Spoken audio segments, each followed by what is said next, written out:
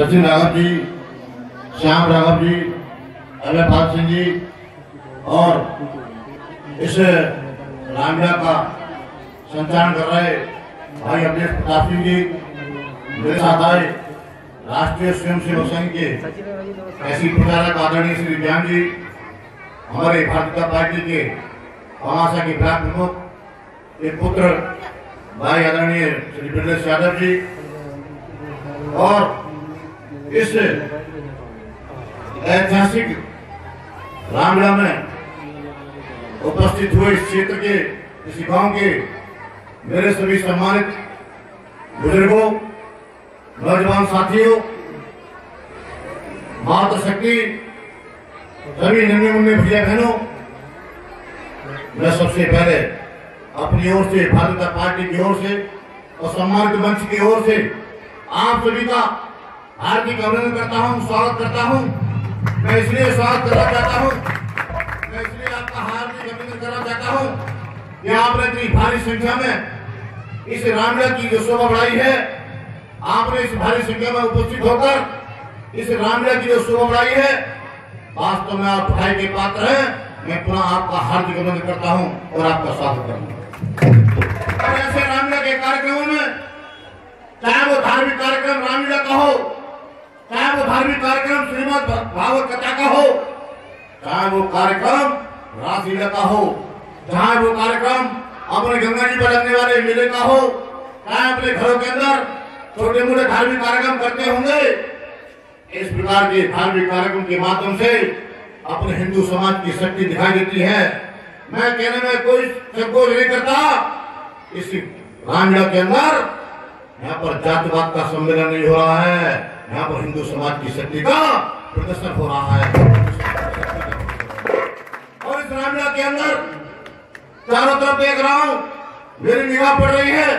इस रामलीला के अंदर वाल्मीकि समाज भी है जाटो समाज भी है प्रजपत समाज भी है कश्यप समाज भी है शहरी समाज भी है खड़कवंशी समाज भी है, यादव समाज भी है, कहीं ना कहीं जाट समाज के लोग भी हैं, ठाकुर समाज भी है ब्राह्मण समाज भी है वैश्य समाज भी है, हिंदू धोई भी नहीं होंगे।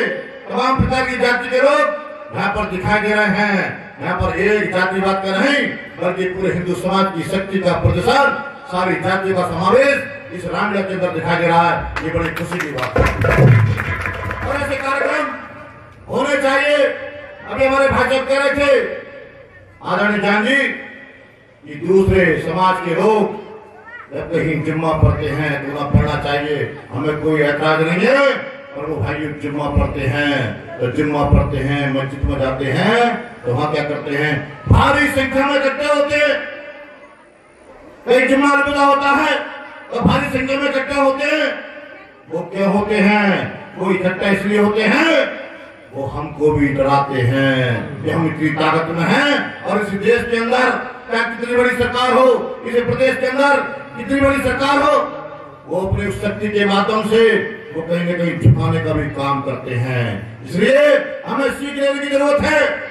उत्तर प्रदेश के अंदर आज राष्ट्र भक्तों की सरकार है, आज उत्तर प्रदेश के अंदर राम भक्तों की सरकार है, आज उत्तर प्रदेश के अंदर गरीबों की, मजदूरों की, किसानों की, महिलाओं के उत्थान करने वाली सरकार है, आज उत्तर प्रदेश के अंदर नौजवानों को रोज़गार देने वाली सरकार है। इसी प्रकार से देश के अंदर माननीय मोदी जी सरकार है।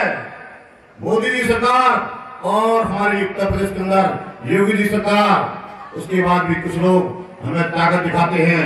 भाइयों, यदि हमारे ऊपर कोई अत्याचार करे कोई अनाचार करे, कोई दुराचार करे, या हमारी बहन बेटी के साथ कोई बलात्कार करे, साधु सत्यों की हत्या करे बड़े मंदिर तोड़ने का प्रयास करे, पहली बात तो अब हिम्मत नहीं है। अब उत्तर प्रदेश के अंदर और देश के अंदर हिंदुत्व का राज है, हिंदूवादियों का राज है, अब इसलिए हिम्मत तो नहीं है।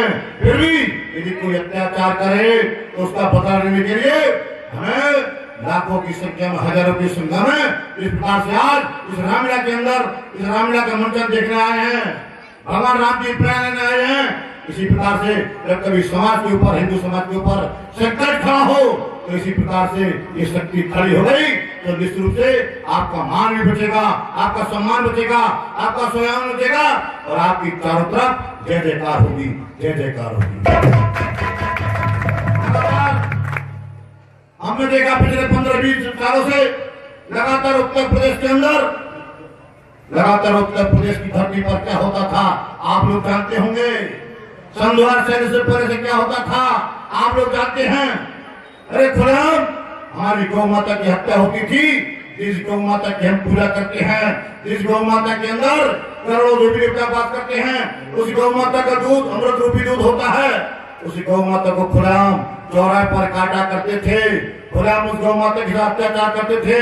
और हम भी कहते थे, हम भी कहते थे यदि भविष्य में उत्तर प्रदेश के अंदर राम राज्य, राम भक्तों की सरकार बन गई तो उत्तर प्रदेश की धरती पर गौ माता नहीं कटेगी गौ माता नहीं कटेगी और उत्तर प्रदेश की धरती पर यदि किसी ने हमारी गौ माता को काटने का प्रयास किया तो फिर जिस प्रकार से गौ माता के टुकड़े होते हैं, उसी प्रकार से उसके भी इसी प्रकार से टुकड़े हो जाएँगे, उसी प्रकार से उसके भी टुकड़े हो जाएँगे।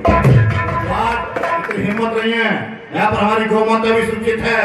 आज उत्तर प्रदेश के अंदर हमारी बहन बेटी भी सुरक्षित है। आज उत्तर प्रदेश के अंदर हमारी गंगा माता भी सुरक्षित होती जा रही है। आज उत्तर प्रदेश के अंदर हमारी जननी माता भी सुरक्षित है। आज उत्तर प्रदेश के अंदर भारतीय संस्कृति भी सुरक्षित होती जा रही है।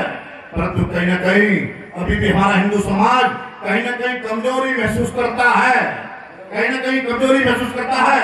और मैं इसलिए कहना चाहता हूँ कि मैं क्षेत्र में निकलता हूँ